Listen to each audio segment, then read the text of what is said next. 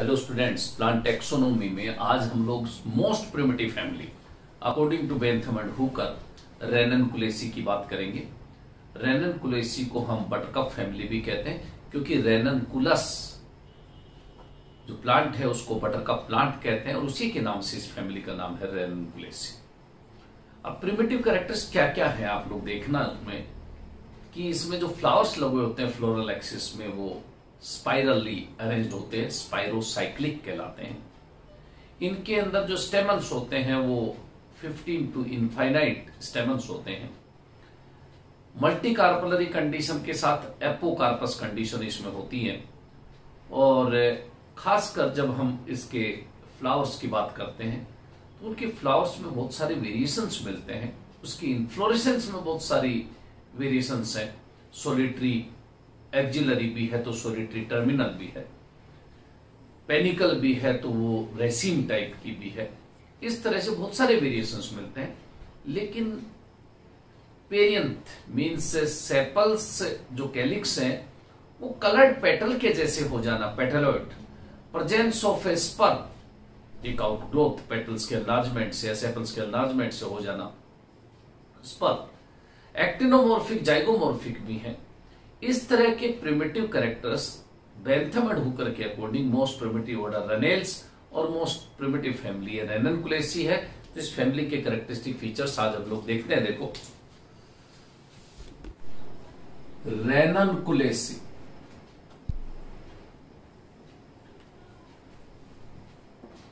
जिसको हम buttercup family के नाम से जानते हैं।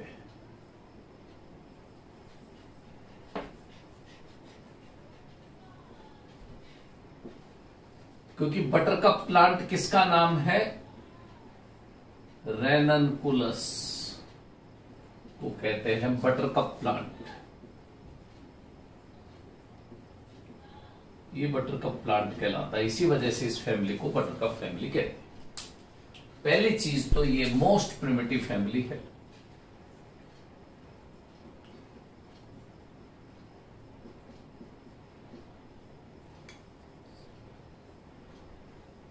मोस्ट प्रिमिटिव फैमिली दूसरी बात मोस्टली इसमें annual and perennial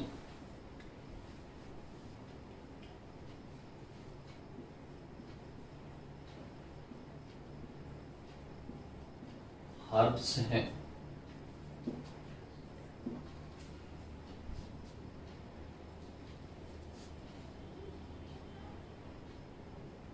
rarely woody climber भी इसमें है, लेकिन रेयरली स्रब्स एंड ट्रीज है।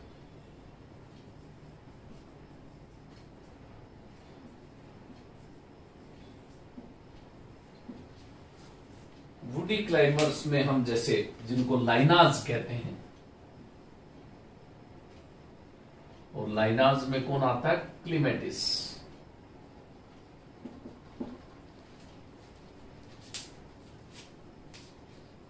कौन से प्लांट्स मोस्टली आते हैं? तो एक नाम सुना होगा आप लोगों ने लार्कस्पर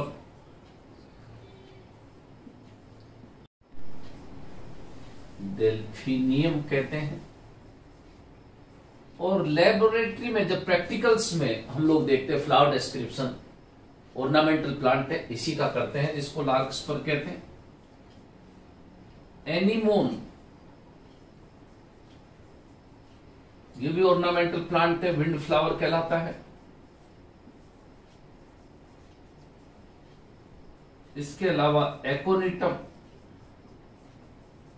इसी फैमिली का मेंबर है। नाइजेला इसी फैमिली का मेंबर है। थेलिक्ट्रम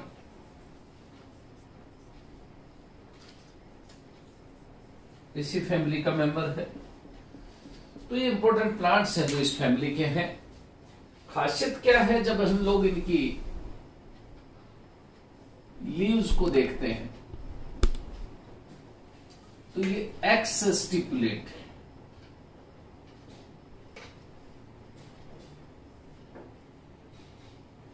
सिंपल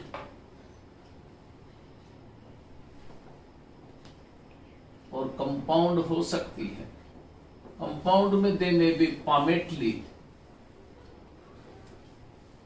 और मे बी पिनेटली कंपाउंड लेकिन इंपॉर्टेंट चीज़ क्या है, इनका जो लीफ बेस है, वो ग्रेमिनी फैमिली की तरह सीथिंग होता है। सीथिंग लीफ बेस एक तो ये इंपॉर्टेंट चीज़ ध्यान में रखनी है। एक जब इन्फ्लोरेसेंस की बात होती है तो इसकी इन्फ्लोरेसेंस सोलिटरी टाइप की भी। और सोलिटरी में जैसा मैंने बताया एक्सिलरी और टर्मिनल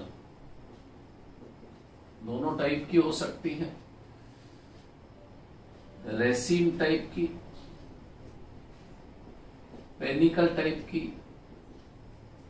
ये इन्फ्लोरेसेंस तरह तरह की होती है। डेल्फिनियम में मोस्ट कॉमन जो हम प्रैक्टिकल में करते हैं वो रेसिंग टाइप देखने को मिलती है। जब फ्लावर की बात होती है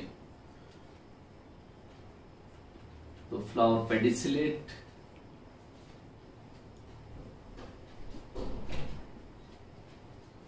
bracteate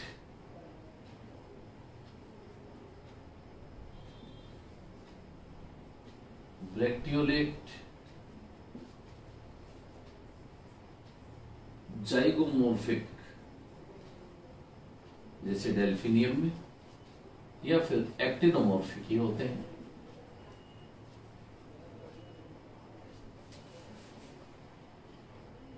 hypogynous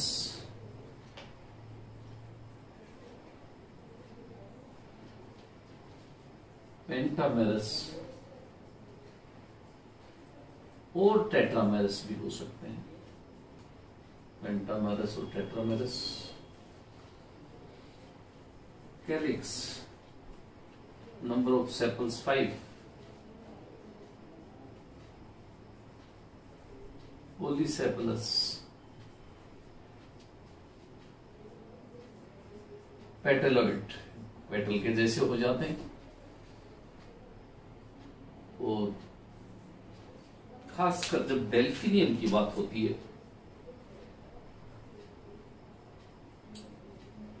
posterior sepal is modified into spur इसमें delphinium.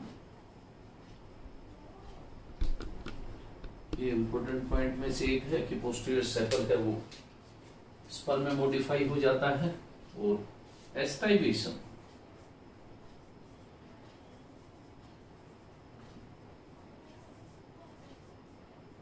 कंकनिशियल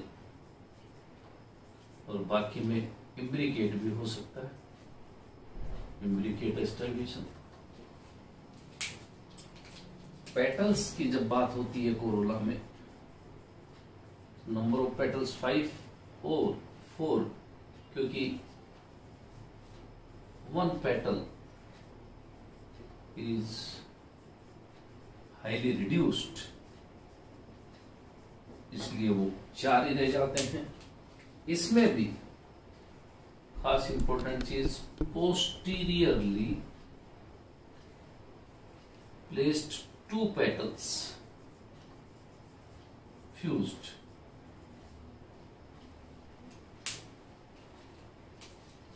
and modified into spur.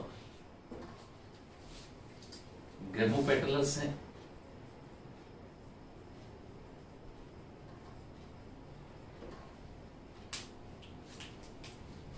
Velvet estivation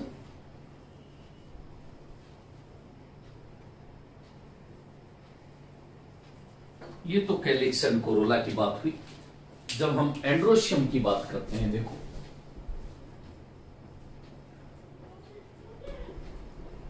तो नंबर ऑफ़ स्टेमन्स 15 और many polyandrous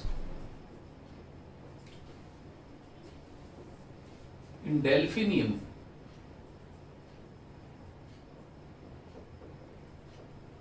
number of stamens are 15 and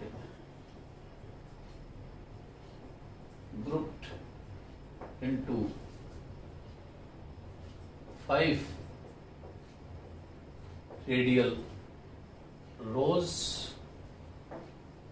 इसका मतलब हरेक में कितने हुए five into three fifteen each row contains three stamens bithecous extrorse होते हैं।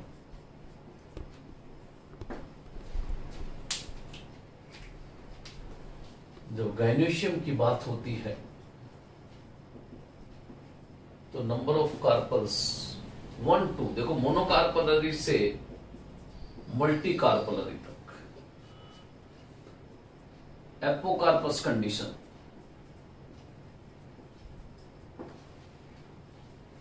marginal placentation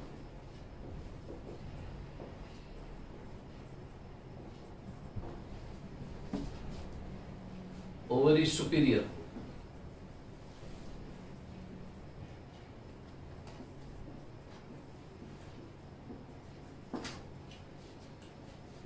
fruit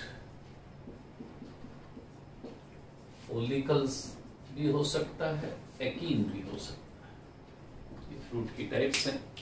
अगर हम फ्लोरल फॉर्मूले की बात करें, देखो ब्रैक्टिएट ये रहा ब्रैक्टियोलेट ये रहा। इट में भी अगर डेल्फिनियम के ही फ्लोरल फॉर्मूले को देख रहे हैं तो ये zygomorphic bisexual K five C four monosepalous and androecium fifteen polyandrous gynoecium single और सुपीरियर जब हम इसका फ्लोरल डायग्राम बनाएँगे देखना, वो थोड़ा सा इंपॉर्टेंट इसलिए हो जाता है, क्योंकि स्पर बनता है।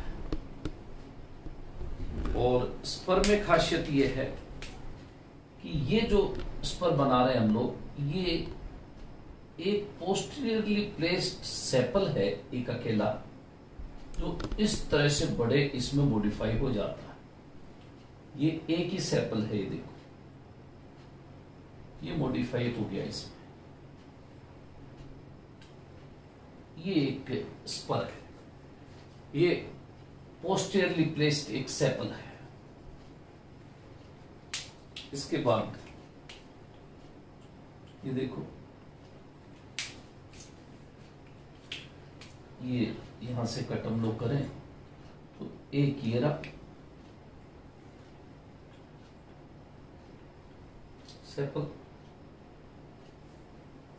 एक ये रहा सेपल अपने पास। एक सेपल ये। और एक सेपल तो इस तरह से क्यूकेंशियल एस्टाइवेशन भी हो गया देखो। एक कंप्लीटली आउटसाइड ये भी कंप्लीटली आउटसाइड दो तो कंप्लीटली आउटसाइड दो कंप्लीटली इनसाइड और एक ऑल्टरनेट उसको कहते हैं क्यूकेंशियल ये तो सेपल्स हो। गए जब पेटल्स की बात करते हैं तो दो पेटल देखो एक पेटल ये रहा।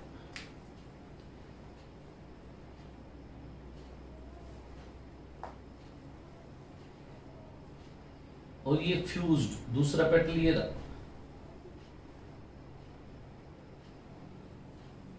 ये तो दो पेटल हो गए, जो फ्यूज है पोस्टियरली प्लेस्ड और एक ये पेटल और एक ही पेटल ये रहा।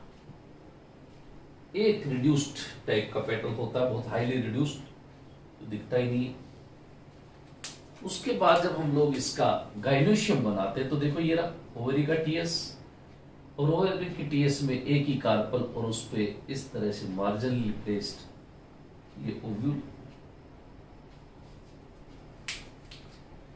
स्टेमन्स जैसा मैंने बताया रेडियली अरेंज जैसे एक ये एक ये देखो, एक ये एक ये एक ये, इस तरह से फाइव रोज में, और एक्सट्रोज टाइप ये। डायरेक्शन बाहर की तरफ़ होगी एक्सट्रोज में, ये बन गए थ्री ये बन गए थ्री इस तरह से अरेंज रहते हैं ये स्टेमन्स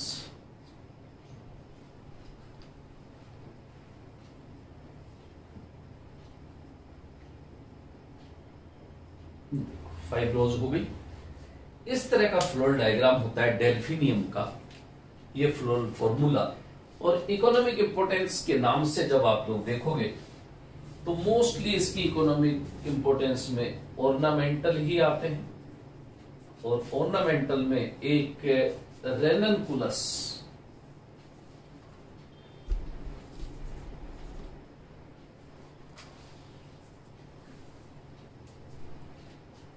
की एक्वेटिस स्पीसीज हो चाहे। रेनलकुलस की स्क्लेरटस स्पीसीज हो चाहे। एक्वेटिकस ये जो स्पीसीज है, इसमें हीट्रोफिली होती है। और हीट्रोफिली का मतलब आप बहुत अच्छे से समझते हैं कि जो सबमर्ज्ड लीव्स हैं सबमर्ज्ड वो हाईली डिसेक्टेड होती है। हाईली डिसेक्टेड और फ्लोटिंग लीव्स वो सिंपल होती है। इस तरह से दो तरह की लीव्स की वजह से हिट्रोफिली कहते हैं। इसके अलावा नाइजीला एकोनिटम क्लिमेटिस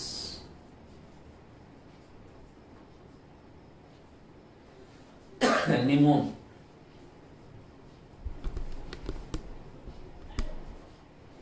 ये सारे ऑर्नामेंटल प्लांट है और मेडिसिनल यूज़ में नाइजेला को जैसे मेडिसिनल यूज़ में भी काम में लेते हैं फीवर इसको ट्रीटमेंट में काम में लेते हैं।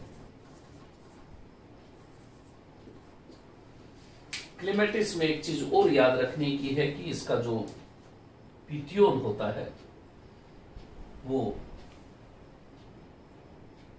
मॉडिफाई हो जाता है कैंडल में और खास चीज़ परसिस्टेंट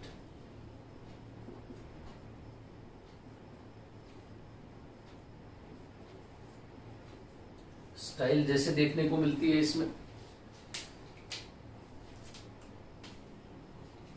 ये करेक्टरिस्टिक फीचर्स रेनकुलेसी के रोल करेक्टर्स फॉर्मूला और डायग्राम के साथ ये फैमिली खत्म होती है। Thank you